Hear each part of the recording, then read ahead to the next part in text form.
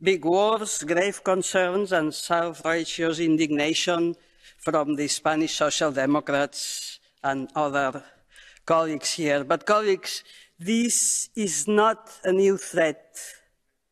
Spain has Vox now, yes, but Vox had Spain long before even it existed.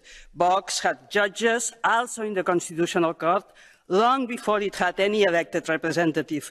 Vox controls the police, the military and the judiciary. And no wonder, honestly, the King of Spain was appointed by his corrupt fugitive father, who in turn got in the crown from Franco.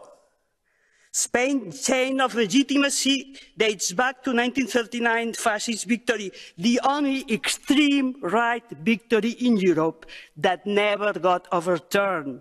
Yet authorities in the EU speak of Spain's model transition to democracy and shallow abuses of human rights with a straight face. When it comes to Catalonia, all Spanish authorities subscribe to the agenda of the extreme right.